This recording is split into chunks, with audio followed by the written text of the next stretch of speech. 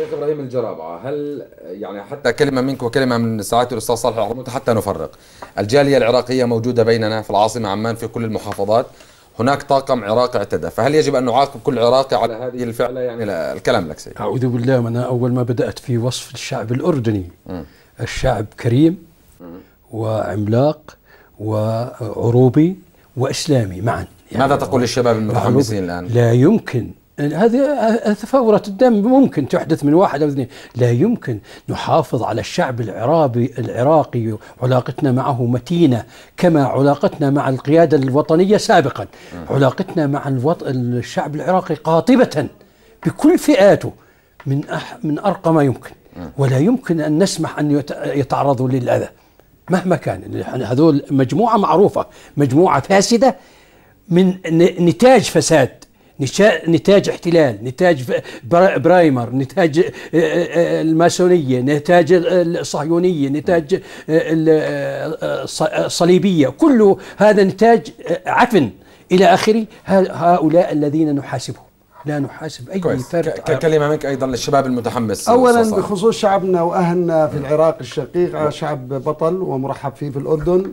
ونعتز به وهؤلاء الذي أقول عنهم الذين هربوا من ظلم وجور حكومة بريمر على الأرض الذي ذاقوا الأمرين. أما هناك أشخاص موجودين على الساحة الأردنية لا مرحبا بهم ولا نرحب بهم ولا أهلا ولا سهلا, ولا أهلا ولا سهلا الذين يبيضون الأموال ويحصلون على جواز سفر نعم. ورقم وطني ويتاجرون بدم الشعب ويقومون بتبييض الأموال وهم عبء ومنهم ومنهم هؤلاء. هؤلاء الذين اعتدوا على أبنائنا وعلى كرامة آه، الأردنيين وشهامة الأردنيين آه، وبالتالي هؤلاء يجب اتخاذ إجراءات أمنية بحقهم وهؤلاء يسيئون إلى الوطن وامنه ومرتبطين وجواسيس لبريمر وغير بريمر والمالكي الذي يذبح الآن كما تعلم شعبنا في الأنبار وغير الأنبار. كما علمت اليوم أن هناك اعتداءات على أسرانا في السجون العراقية. فكيف يتناسب القول أن وزير السفير آه، ولا أقول عنه سفير هذا المجرم البلطجي يقدم شكوى اليوم والسفير وزير الخارجية يقول أن سيتم تحقيق بينما التقرير لجنة الأسرى تقول أن هناك اعتداءات ومضايقات على أسرانا الأردنيين الذي أطالب اليوم بإخلاء بإطلاق سراحهم فورا.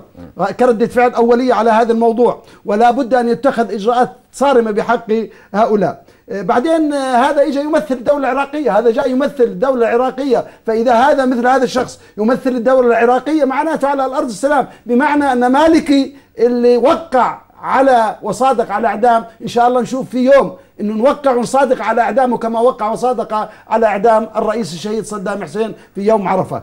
وبالتالي آه، يا أخوي مش معبرين حدا لأنه شاعرين الحكومة الأردنية مش فلطة. هي السفير البريطاني والسفير الأمريكي بوصولوا بالاردن الأردنية. ما حدا سالها هل البلد أخي طارق هل الحكومة الأردنية والدولة الأردنية متعقلة متعقلة عاجزة متعقلة. عاجزة عن حماية أبنائها؟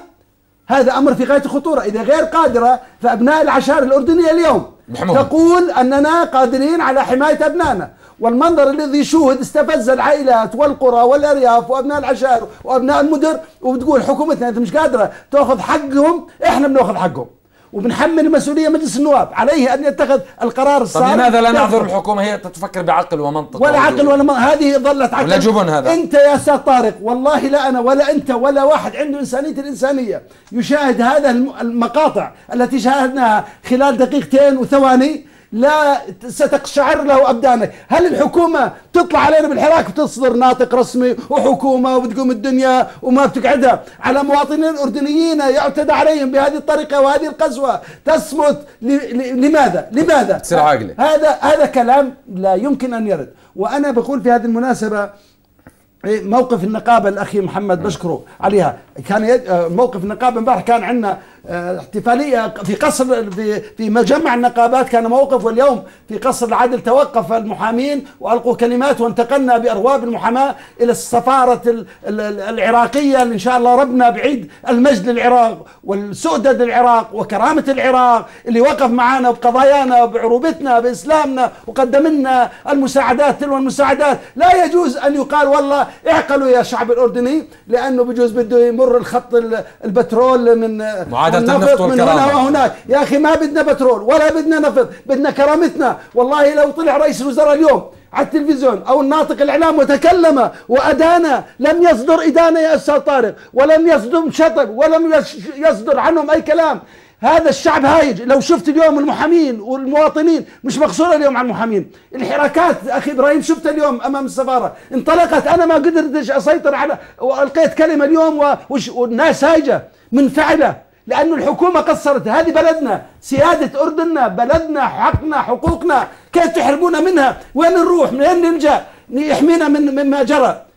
زياد لو صار في شيء ومريض والله مسكين. يعني كان قتل. مسكوا الضرار ضلوا يدحرجوا فيه بعدين مسكوه حطوه على الطاولة بعدين خبطوه بإيديهم وبرجليهم. ما عاد يستوعب شيء. هذه هذه الانسانيه الإنسان هذه حقوقها بمعنى في بلده. في بلده معناته بيستهزئوا. الدول العالم تسقط حكومات والله تسقط حكومات في ظل اعتداء على المواطن. شريط بتذكره لما اعتدي عليه زعماء دول عربية تحركت والعالم كله وأوباما الناطق ال- الناطق رسمي أما مواطننا يهان. الإنسان أغلى ما نملك راضي ظل إنسان المقابل وظل كرامة وظل حقوق لنا يا أخي طارق هذه النقابه اللي حكى عنها أخي محمد يجب أن نتخذ إجراءات ونتوقف عن العمل لحين اتخاذ الإجراءات القانونية بحقهم ونمنع سفرهم واللي يظل أقول لك اللي سمح لهم بالمغادرة يجب ينحبس، يحاسب هو ينحبس وزير محله. الداخلية بحمل المسؤولية آه. وزير الخارجية بحمل المسؤولية الحكومة الأردنية بنحملها المسؤولية وأطلب التحقيق بالمركز الثقافي كيف سمح والطريقة التي تم فيها إعطاء الإذن لإقامة عمل غير شرعي وغير قانوني وغير وطني. وغير وطني ويتعارض مع الدبلوماسية ويثير الشارع الأردني. إحنا كفانا. يعني إحنا ناقصنا نفتح جبهات داخلية في موضوع خلافي في موضوع العراق وما عراق. هو بفكر حاله بالعراق قاعد يعمل لي مخ... هذا اليوم عمل الندوة. بكرة شو بده يعملوا كيف القسوة بالله عليك إنه يمسكوا المواطن الأردني يظلوا يحملوا فيه وينزلوا يخبطوه ويرموه؟ كيف هذا؟ مسكوه على الدرجات دحدلوه على الدرجات. وين راضي. كرامة المواطن راضي الأردني؟ المقابلة. أخي راضي تفضل. ألو؟ حياك الله أخي راضي. تحياتي أستاذ طارق. حياك الله سيدي. طارق الموضوع اللي بدي أحكي فيه إحنا هذا الموضوع حكينا فيه أول شيء بحيي الأستاذ صالح العرموطي وبحيي ضيفك. حياك الله أستاذ سيدي طارق أنا. بسأل سؤال. لما حصلت هذا الإجرام حصل بالمركز الثقافي الملكي. المواطنين الأردنيين وين؟ الدرك وين اللي إحنا بننفق عليه الملايين؟ يعني ما في شخص يحترم المؤسسة العسكرية أكثر مني. ولكن الآن سؤالنا وين الدرك؟ وزارة وزارة كان ومبنى موجود؟ المحافظة 50 كيف؟ متر بعيد عن؟ المركز الثقافي الملكي. مشي مشي ثلاث دقائق. آه. بس أنا بعرف إنه في درك كان موجود هناك. بعدين أستاذ طارق إحنا بنشجب ونستنكر حتى الحكومة. أستاذ طارق الحكومة اهدفنا كشعب إنه نشجب ونستنكر. هاي العبارات أقول لك؟ هاي عبارات يجب أن تقبر يا ريت والله ما. السفير. ولا. الفرد السفير بيعيد للمواطن هذا يقول لك النجداوي والاخ ال- ال- السلطي بيعيد لهم كرامتهم. يفترض الدرك بدي أحكيها بالخط العريض اليوم سمح للمواطنين باقتحام السفارة. ودوس. أقول لك من كبيرهم الذي علمهم السحر السفير نفسه دوسهم كالصراصير. هذا أمر أقول لك لا يجوز صارت هاي الشعب الاردني يهان على أرضه وبنفس الوقت أقول المالكي بايع الكراسين. ما قالت ان تعترف بحكومتك يا مالك أنت وتجلب أشكالك. سيبقى صدام حسين مجد إلى الأمة العربية إلى أن يرث الله الأرض وما عليها، أما الموضوع الحكومة، أخي الكريم إحنا موضوع الحكومة قصير لدينا من حكوماتنا، إحنا ما طيب شكرا نقصد- راضي المقابلة شكرا جزيلا. شيخ إبراهيم آه، يعني البعض يقول لك هي معادلة الكرامة والنفط. يعني يجب كحكومة أن نكون متعقلين نفط عراقي مساعدات اقتصادية. نحن جوعة بلد جوعة يعني. لا بأس ببعض كرامة بعض المواطنين لا يهم يعني. المهم النفط يا أخي. شو بدنا في الكرامة؟ ال- قبل هذا بدي أحكي شغلة. اليوم الدرك أو الأمن مسك واحد من جماعة عي آه، يحمل شبرية.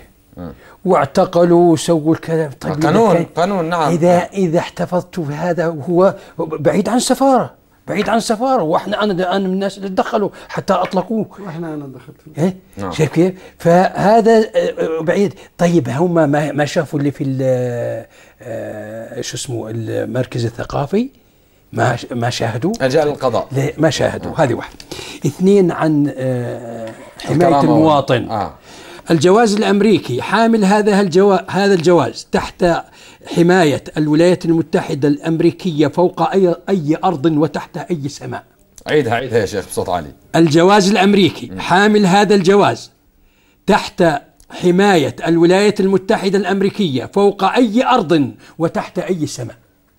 الجواز البريطاني ستدافع المملكة المتحدة عن حامل هذه الجواز حتى آخر جندي على أراضيها. الجواز الكندي. تتحرك تتح... نحرك أسطولنا من أجله من أجلك.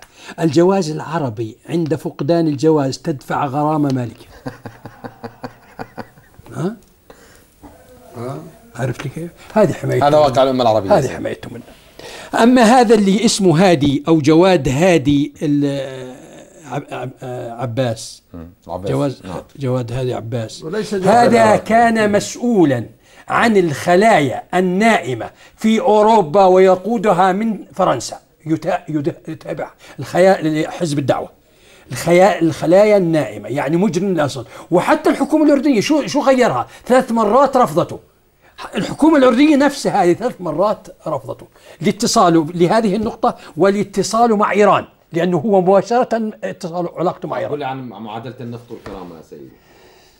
يعني الحكومة تفكر بمنطق بعقلانيه هذه. الحكومة يا أخي شوية شباب والله. والله اللي بي آه شو بيقولوا اللي اللي بيتزوج القرد على ماله ها؟ بروح القرد؟ بروح القرد وبيظل المال. بروح المال. بروح المال وبيظل القرد على حاله.